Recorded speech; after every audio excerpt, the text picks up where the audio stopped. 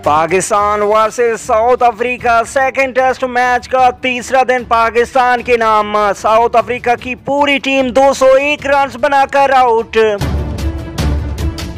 पाकिस्तान की जानब से हसन अली ने बेहतरीन बॉलिंग का मुजाहरा किया। साउथ अफ्रीका की टीम 201 रन बनाकर आउट हुई। अभी भी पाकिस्तान टीम को इकहत्तर रन की लीड हासिल है।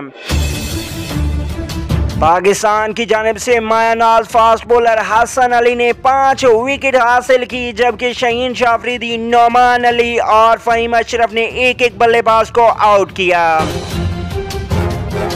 साउथ अफ्रीका के खिलाफ पाकिस्तान टीम को इकहत्तर रन की बेहतरीन बढ़तरी हासिल हो चुकी है।